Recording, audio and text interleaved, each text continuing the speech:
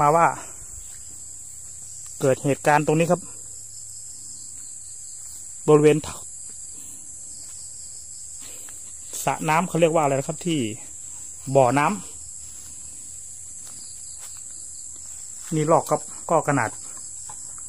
เก่าพอสมควรครับ เคยมีเหตุการณ์คน เสียชีวิต อยู่ในบ่อแห่งนี้ครับ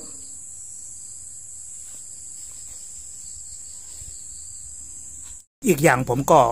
จะเพิ่งมาสังเกตเห็นนะครับว่า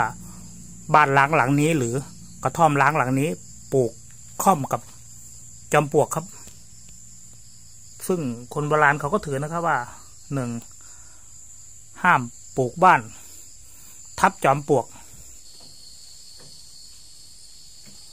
พอดีก็เจอตะปูนะครับ จะหาที่แขวนด้วยความที่ผุเก่านะครับ ความที่ ไม้ผูกเก่าแล้วก็ตะปู เนี่ยไม่สามารถแขวนได้เลยครับเนี่ย โอ้งอโอ้ผูกออกหมดแล้วครับ อันนี้ก็สูงไป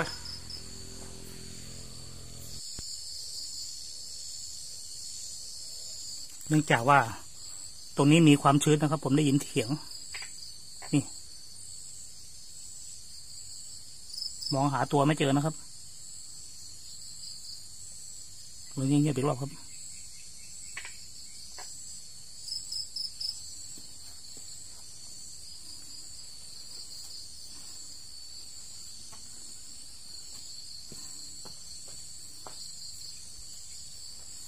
เป็นไงบ้างครับผม เห็นไหมครับ ทีนี้ครับเสียงนกกระเต็นนะครับหรือนกอะไรก็ไม่ไม่แน่ใจ บินขึ้น เข้ามาตัวนี้เหมือนจะบอกข่าว อะไรผมสักอย่าง ผมก็เดินมาก็นึกถึงตัวนี้อีกรอบ นี่ครับเป็นลอกดึงน้ำสลับ มีผู้เสียชีวิต อยู่ในบ่อแห่งนี้ครับ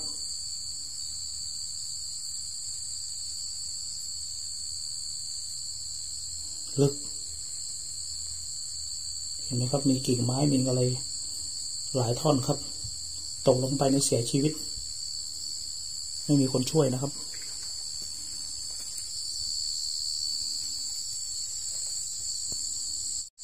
สภาพตอนนี้ก็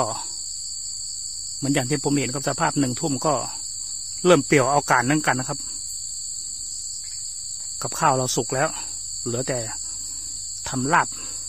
หน่อไม้อย่างเดียว บางทีผมก็ต้องระแวงนะครับ เพราะว่า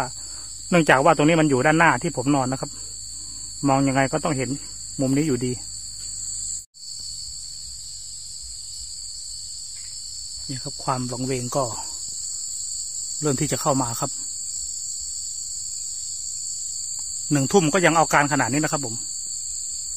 ท่านผู้ชมก็ลองคิดตามผมนะครับว่า บ่อน้ำที่เคยเกิดเหตุการณ์ คนเสียชีวิต หลายแห่งนะครับ ที่คนไปขุดบ่อแล้วหนึ่งขาดอากาศหายใจในบ่อแล้วเลยเสียชีวิตหรือสองเกิดอุบัติเหตุ หลังจากใช้บ่อนี้มาแล้วไม่น้อยกว่าสิบปี อาจจะมีคือหนึ่งเด็กจมลงไปสองผู้หญิง ก้มตักแล้ว คนเฒ่าคนแก่นะครับ อาจจะหัวทิ่ม ตกเข้าไปในบ่อเลยเกิดเหตุการณ์ เสียชีวิตเกิดขึ้นครับ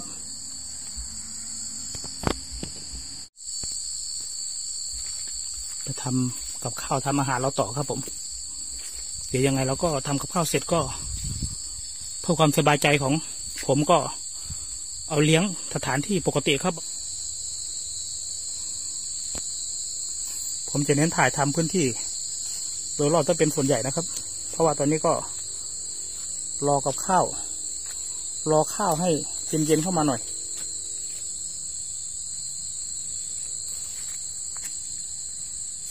แต่ก็มีความรกอยู่ อย่างที่ผมบอกก็คือมีพวกว่านผีพง อะไรพวกนี้เต็ม ดีไม่ดีคืนนี้อาจจะมีคนนั่งยองๆ แล้วก็มีจมูกแดงๆเกิดขึ้นก็ได้นะครับ หรือไม่ก็มีอะไรที่ ห้อยโหน ตามนี้เราพวกนี้เราไม่ลบหลู่แล้วครับ เราก็ อย่าไปท้าทายเขาครับเมื่อกี้ก็เสียง ทำกับข้าวกับปลาเสร็จแล้วก็จะได้นำกับข้าวเลี้ยงนี่จะพี่จะฟัง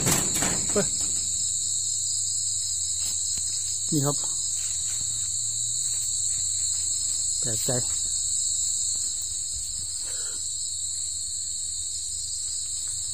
บางทีเขาก็บอกว่า อย่าทักนะครับ เราเห็นอะไร แต่บางทีก็เสียงมันดังเกินมันก็ ถ้าเราไม่เฮอะก็กระไรอยู่นะครับ ผมเจะที่จะทานก็ลูก ขออภัยนะครับ ที่ผมทำอะไรผิดพลาดประการใดในวันนี้นะครับ คงจะเป็นอาหารง่าย ๆ ครับ มื้อนี้ ข้าวหอม สวยครับ โอ้โหบรรยากาศเดี๋ยวรีบ นำอาหารไปเลี้ยงเจ้าที่ครับ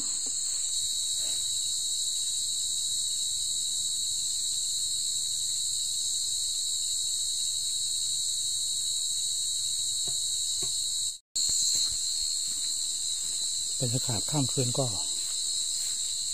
เริ่มน่ากลัวขึ้นมาทุกขณะนะครับโอ้ยเฮ้ย อะไรวะครับ ผมเห็นเหมือนไฟกระสือนะครับเมื่อกี้เนี่ยแวบผ่านตาผม อยู่ด้านหลัง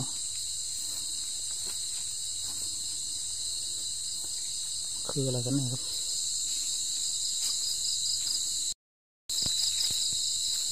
อยู่ในพุ่มไม้นะครับ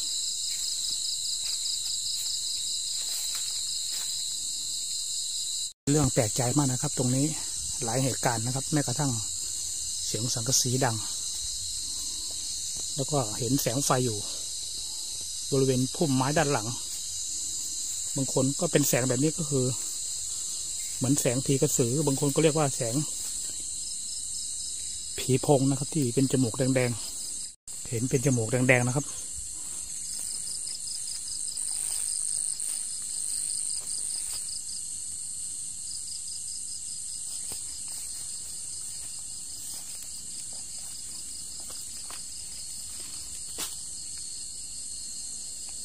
ใจมากครับผม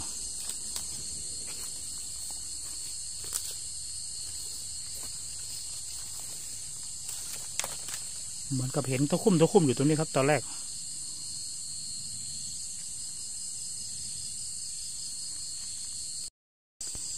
เมื่อกี้นี่ก็เข้ามาในบริเวณนี้ก็ แปลกใจเหมือนกันครับ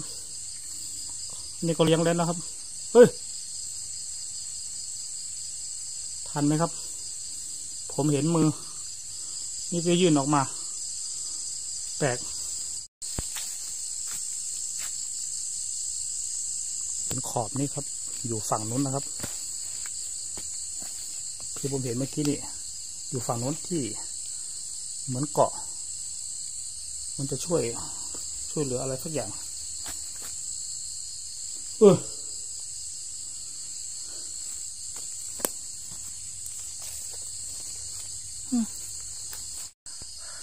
อย่างที่ว่าครับางที เขาก็มาดีคือมาหลายรูปแบบ บางครั้งที่หนึ่งมาในรูปของรูปลดกลิ่นเสียง แต่ผมว่าหลายคนนะครับที่ไม่อยากให้เห็นมาในรูปของรูปนะครับ แล้วก็ไม่ยามาอยากให้เห็นพวกกลิ่นเสียง ผมว่าก็ยังไงก็ คงไม่มีใครอยากให้เห็น ทั้งสามสี่แบบที่ผมพูดมานะครับ คือเขามาในในที่นี้คือหนึ่งมาขอความ ให้เราแผ่เมตตานะครับเพื่อได้บุญได้กุศลนะครับ เขาจะได้บางทีเป็นศพไร้ญาติหรือวิญญาณตามพระเวสสีนะครับ ที่อยู่ตามบริเวณสถานที่ต่างๆ ผมเอง เป็นทั้งคนรุ่นเก่ารุ่นใหม่ในอยู่ในตัวเดียวกันนะครับ ก็ไม่เชื่อก็อย่าลบหลู่นะครับ ผมยังไงก่อนนอนคืนนี้ก็จะต้องไหว้พระไหว้ผ่อนนะครับผม ทางโน้นนะครับฝนฟ้าแลบแป๊บๆเลยครับบรรยากาศก็คิดดูกันพ่อแม่พี่น้อง